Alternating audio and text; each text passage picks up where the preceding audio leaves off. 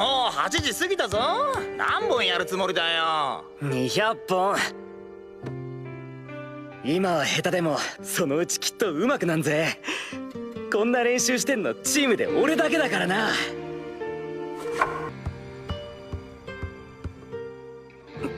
まさか。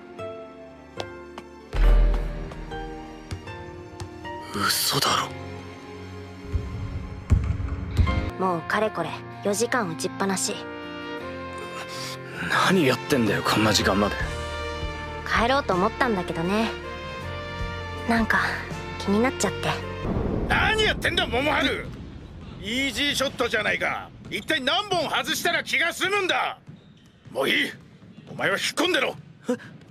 星野交代だ。北岡中に勝ったやっぱ才能あるやつは違うよな部活出なくていいのか？